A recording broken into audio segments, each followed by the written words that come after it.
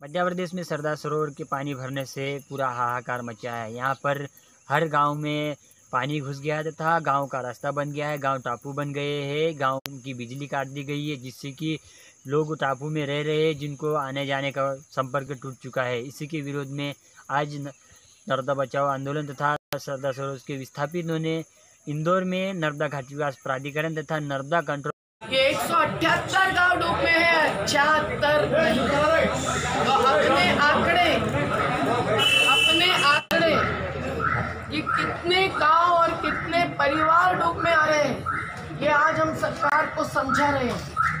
झूठे और कमज़ोर आंकड़ों से कभी लड़ाई लड़ी जा सकती है क्या? नहीं। नहीं। और आज एक एक दिन नहीं एक एक घंटा महत्व का है। एक एक घंटा।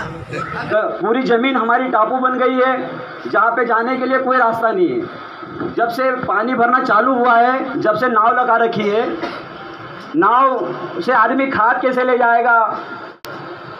वहाँ पे बीज वगैरह कैसे ले जाएगा ट्रैक्टर वगैरह जाने की कोई सुविधा नहीं है। बार बार आवेदन दे चुके हैं।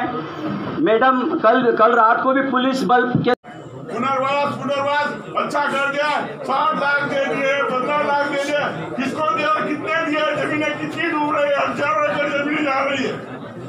अपनी बात लेकिन तुम साफ़ कर दी दिया था तो वहाँ पर अभी काय अमल करियो आज एक हा एक मीटर पानी छेड़ा तो कतरी तो इन्हें पानी को खोलाने की बात करो उसके बाद में निकाल देंगे निकाल देवेंगे हुई गयो कही देगा अथवा बत्तीस साल तक तो निकाल हाँ तो अभी तो तुमका हम निकालेगा हम सब विचलित हैं, मीरा बहन भी विचलित हैं।